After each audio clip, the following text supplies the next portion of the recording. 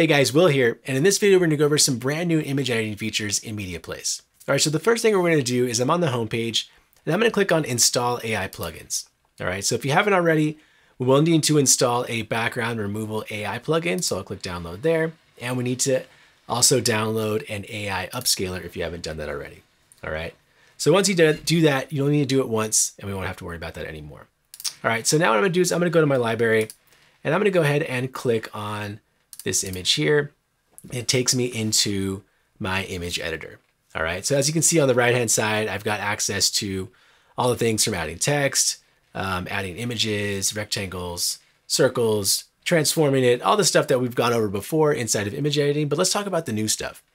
All right, so at the top, we've got an undo redo feature, right? So if I come to adjustments here, say I bump up the brightness way too much, and then I make some contrast changes, and then maybe increase the lightness more.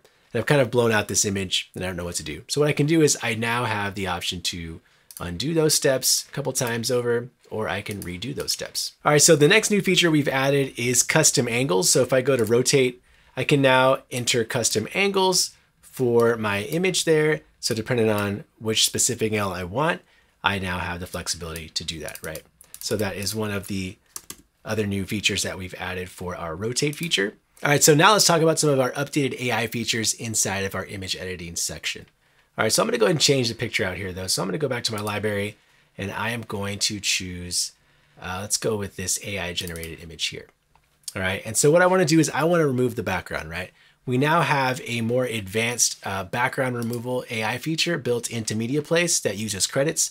So what I can do is I can click on advanced and then it will process out and remove that background for me very nice and clean inside of MediaPlace, right? And then of course I can always uh, rename this guy and then I can save it um, to my main library or I can then drag it to uh, my pictures folder, which I got right there.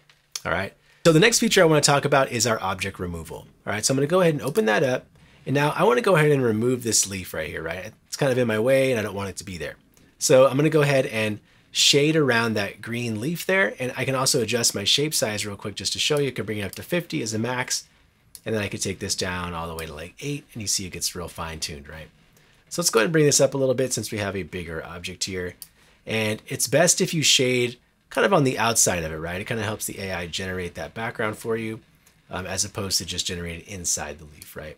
Now, one thing I do want to point out is if you mess up or you need to, to take away some of that selection, you can select erase and then you can then remove some of that selection that you got. All right, so let's go back to draw and let's go ahead and fill out this leaf so we can then remove it in a good way here. All right, so I've got it all selected. Now in the bottom right, I'll select remove objects and then it will process. Sometimes it takes a while if you have a very advanced image with, with a very intensive background, um, but this is kind of a simpler background, so it shouldn't take that long. So once it's done, it will then remove the leaf and I've got a nice clean AI adjusted background there, right? So it's really cool. All right, so you can get a little more advanced too. So let's work on this, uh, this blueberry section here, right? So let's go back to our object removals here, and then I'm going to just draw around our blueberries here and just shade around so we can get them out of the picture here. All right, so there we go. So far, so good. Got them all highlighted in. Now, if I remove the objects, again, this one may be a little more complex because there's more involved, but it will do a pretty good job at removing those blueberries for us, all right? So once it's done, you can see that it did that. Now if I punch out a little bit, I can do um, undo, and we can kind of see how that looks. If we like it, we can keep it. But if you hadn't seen them there before, I think it does a very excellent job of removing those objects for us inside of MediaPlace, right? So again, really powerful tools that are built in to kind of help your creative flow, help you stay organized, and keep you contained within one house, right? Which is MediaPlace. All right, so now let's talk about our text removal feature. All right, so I'm gonna go ahead and open up our remove text automatically. And I've got an image here with some text at the top right, just to show you an example of how this feature works. All right, so all I need to do is import in this picture, and then I can click on remove all text, and then it will process out that text and allow me to use that photo for any way that I see fit afterwards.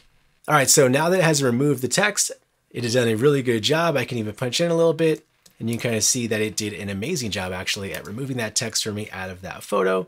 So again, really powerful features built right into MediaPlace to kind of help that creative workflow. All right, so one of the last AI features I want to talk about inside of our image editor is the expand image feature. All right, so now if I open up expand image, you'll see you have some options, right? So this isn't a tool that crops anything. What it does is it actually redevelops your image, pushing out the sides, um, making it a 9 by 16 or convert it to a 1 by 1, but rebuilding out your pixels, whether it be on the left or the right or the top or the bottom, right? So for example, let's say I want to turn this into a 16 by 9. All I need to do is select my 16 by 9 ratio and then hit expand image.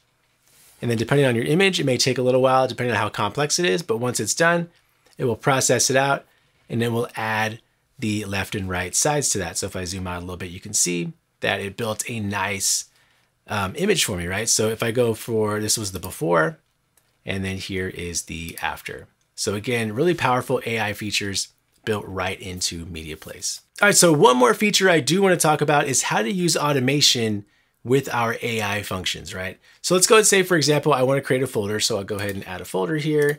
And then let's go ahead and name this upscaled images, right? Now what I can do is with that folder selected, come over here to my automations and let's create a new automation, right?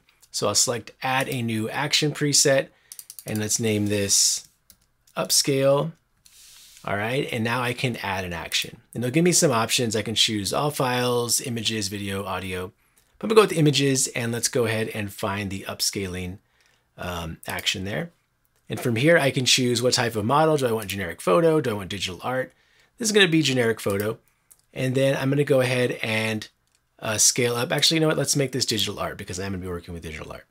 Um, scale up, so let's do scale up two times and then we'll save them as JPEGs, the quality be 90%.